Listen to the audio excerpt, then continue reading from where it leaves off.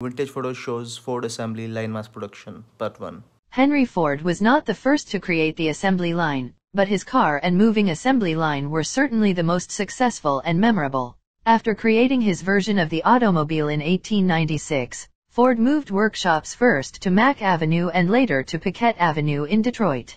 These first two factories were small-scale structures for limited car production. Only in 1913 at Ford's third factory, at Highland Park did mass production begin on a truly large scale. As shown in these rare photographs, Ford applied assembly line methods throughout the factory to all aspects of car production. The resulting productivity gains and price cuts led manufacturers of every type to adopt Ford's innovative production methods. In 1907, Henry Ford announced his goal for the Ford Motor Company, to create a motor car for the great multitude. At that time, automobiles were expensive, custom-made machines